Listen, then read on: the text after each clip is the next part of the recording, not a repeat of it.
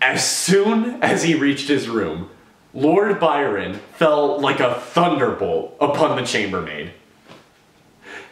That man is a menace. An attractive menace, but a menace nonetheless. You know, I often wonder about how much easier my life would have been if I had never been offered this job, just for my own sanity's sake. I wouldn't have to keep an eye on Byron's condom supply. It's funny, Minnesota has been more beautiful than I thought it would be.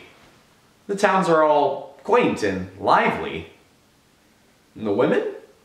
Generally pretty. That's about all I have to say for now, so I guess it's just goodbye.